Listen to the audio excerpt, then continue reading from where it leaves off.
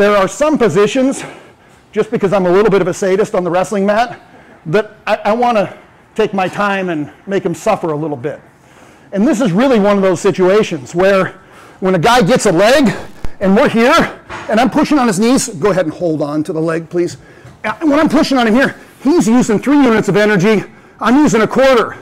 Hell, I might let him fight back up a little bit, grind back in. Oh, good job, buddy. Oh, okay. Eventually, they start questioning some life decisions, okay? You want to give them that time and opportunity.